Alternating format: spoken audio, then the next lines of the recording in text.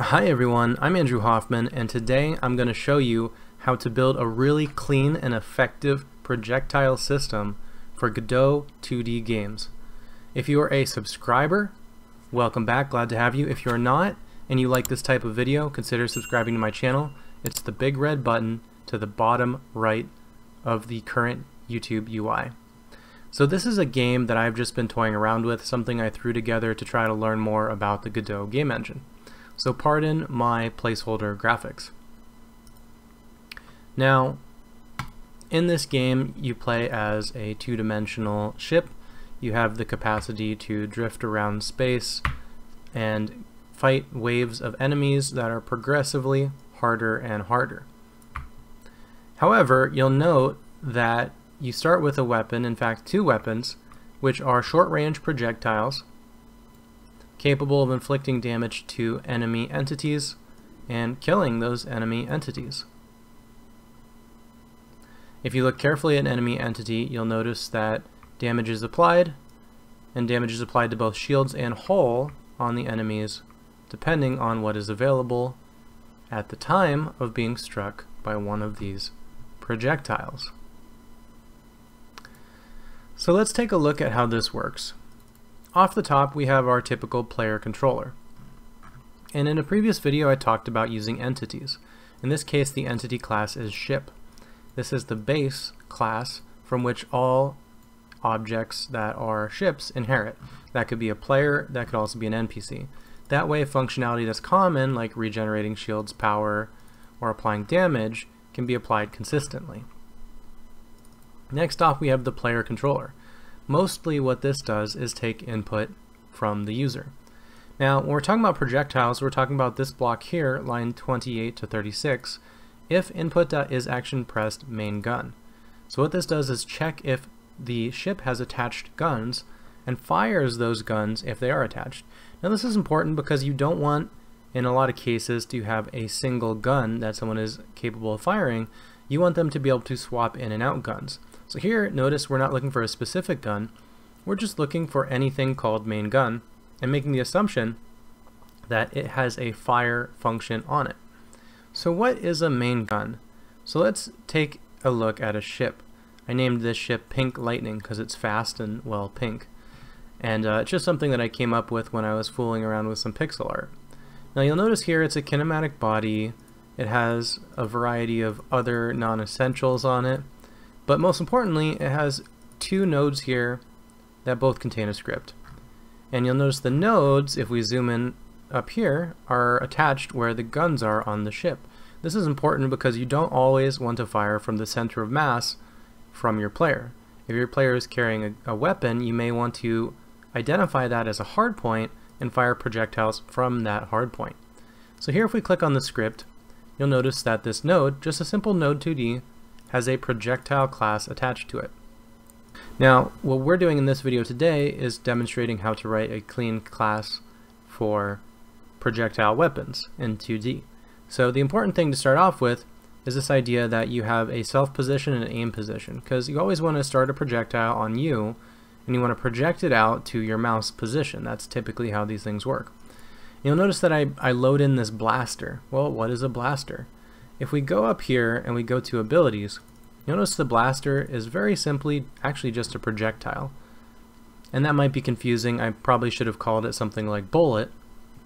In this case, I was toying around with this game and hadn't really finished cleaning up all of the code yet, so I called it a blaster. Now we go back to the blaster. The idea is we instance a projectile, we make sure the projectile doesn't collide with the ship, we spawn the projectile, we make sure that it's rotated in the correct direction.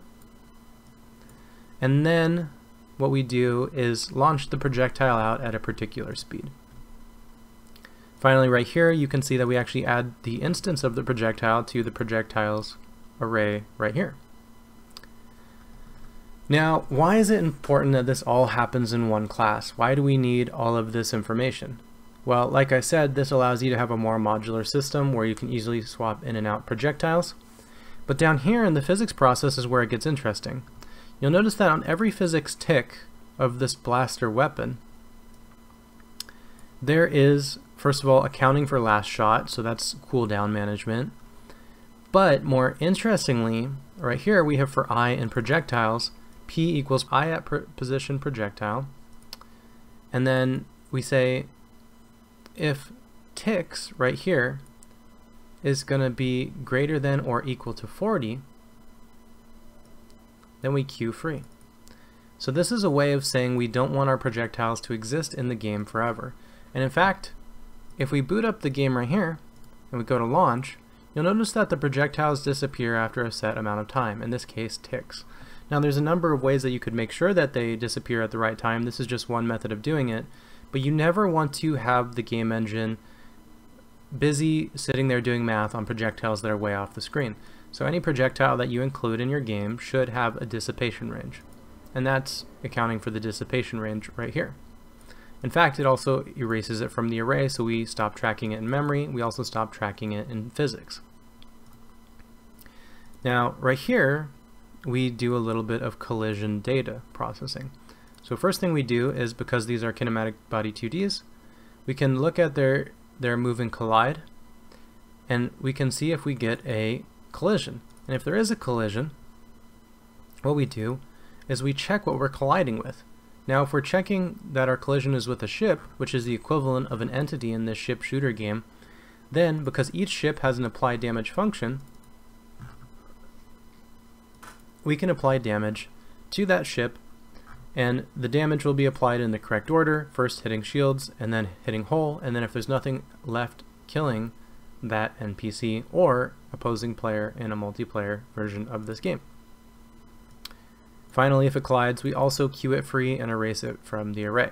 Now, if none of these things happen, we move up the number of ticks because the number of ticks are used to get rid of the projectile if it is on the screen too long.